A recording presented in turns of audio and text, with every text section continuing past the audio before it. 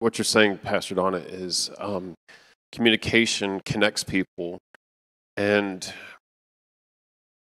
and so cleaning up the the communication so that more of the Holy Spirit can be between people, bind us together, demonstrate the love of of God, is significant. But um, I'm going to come in from putting the squeeze on both parties because um, when someone communicates, there's obviously a, a receiving end of it.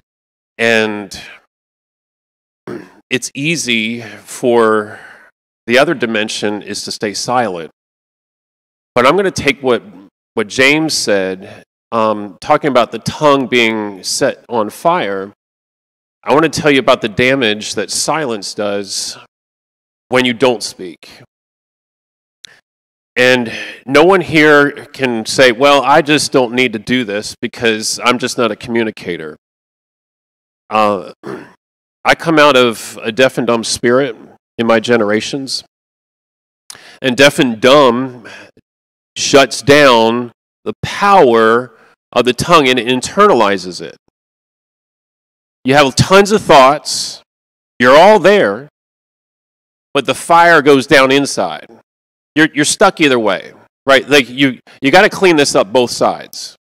And so we, we joke around and just say, well, I'm going to let someone do my talking. We'll have an Aaron for us. Or um, I'll just let that person talk more because that's just the way they are.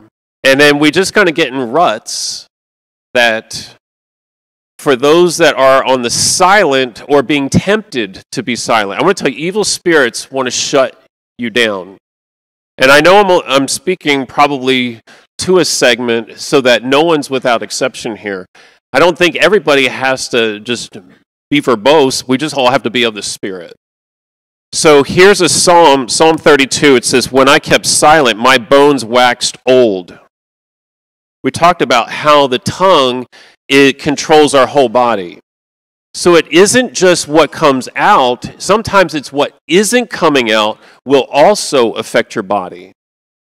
The bones, the, the immune system. And so I just want to encourage um,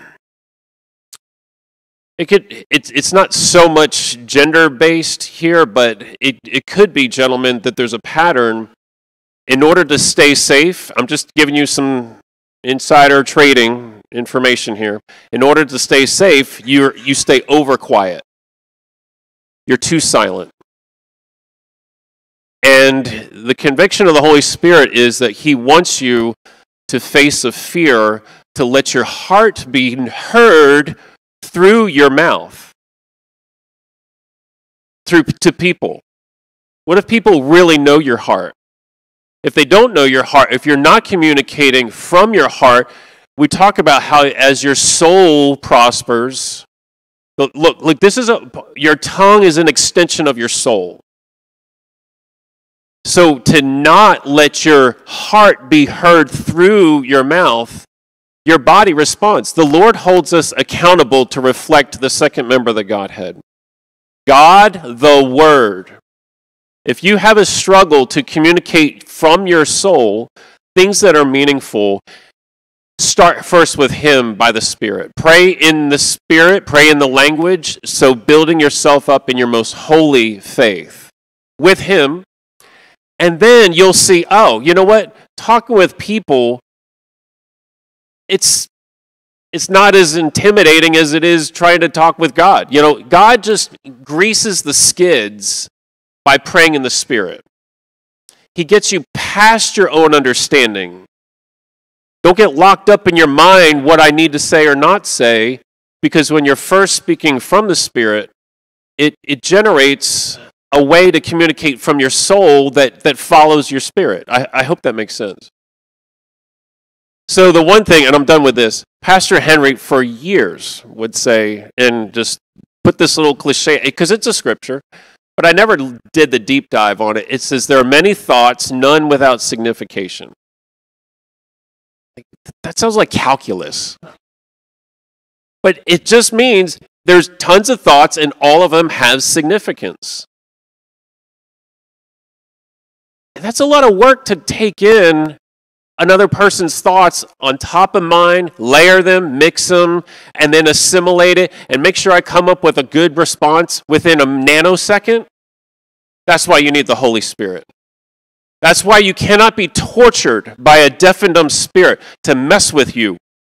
It will shut you down, and you got to turn on that thing, folks. It's a violent spirit. It hates you. It does not want you to stay awake.